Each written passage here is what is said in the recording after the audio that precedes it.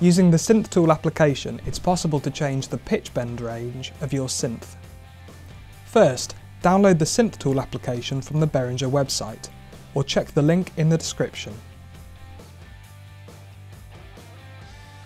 Once downloaded, connect your synth to your machine via a USB cable and switch it on. Open the Synth Tool app and navigate to the General tab. Here you'll see the options for the pitch bend. To change the range, set the mode to settable. You can then adjust the semitones to increase or decrease the range of the pitch bend.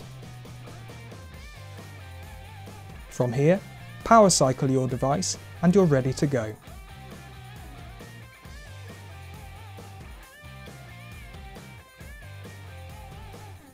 Thanks for watching. If you have any problems with your synth, then please fill out the support form in the description below.